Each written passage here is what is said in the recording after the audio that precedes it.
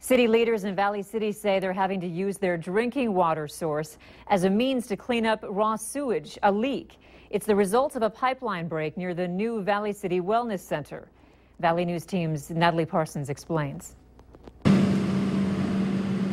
Dylan Ripplinger lives off 6th Avenue in Valley City, right across the street from a pipeline break, a pipe that's leaking raw sewage.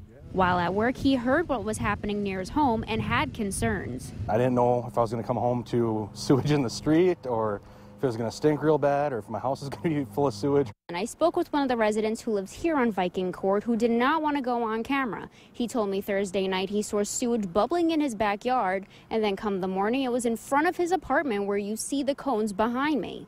City crews worked to tackle the issue and found that the part of the pipe that takes all raw sewage within the city to lagoons was leaking. The city doesn't want raw sewage backing up into people's homes or private properties, so instead they made a call to pump it into the Sheyenne River. We have asked the citizens of Valley City uh, during this little mini emergency, if you will, to limit their water usage. Contractors who work to replace the piping believe it's the same piping they worked on a year ago. The city says at this time it's unclear exactly how much sewage leaked and when exactly it began, but ensures all repairs should be completed by midnight. Valley City officials also told us the North Dakota Health Department backs the plan to temporarily pump the leaked raw sewage into the Sheyenne River because the fast river flow will easily dilute it.